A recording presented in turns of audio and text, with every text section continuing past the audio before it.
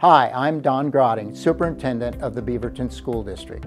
As you've likely heard, the Oregon Health Authority is no longer mandating masks in schools given current COVID conditions in our community.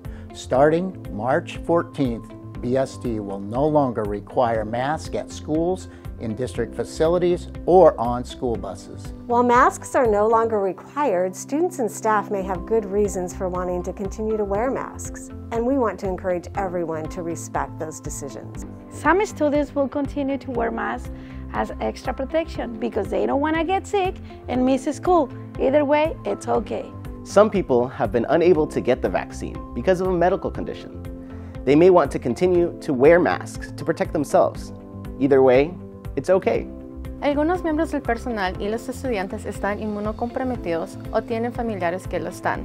Van a querer seguir usando cubrebocas. De cualquier manera, está bien. Other staff members have children under the age of five who aren't eligible for vaccines. Some students have younger siblings. They may continue to wear their masks to protect their families. Either way, it's okay. It's the job of some staff to administer COVID 19 tests to staff and students. Many of us will want to continue to be masked. Either way, it's okay. Our first graders have never been to school without masks on. Some of them may feel comfortable continuing to wear them. Either way, it's okay. Some people will continue to wear masks because they're worried about the new variants of COVID 19. Either way, it's okay. There's currently a substitute teacher shortage. Some teachers may choose to wear masks as a way of preventing illness and ensuring they're available to support kids at school.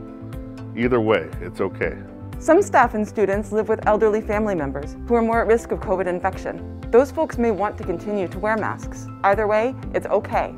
Algunos miembros del personal y los estudiantes viven con familiares de adultos mayores que tienen más riesgo de infección por COVID esas personas pueden querer seguir usando cubrebocas.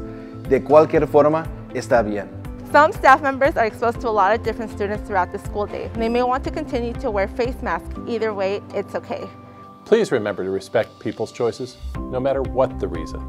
So, whether you continue to wear a mask or go without one, you belong at BSD. Either way, it's okay.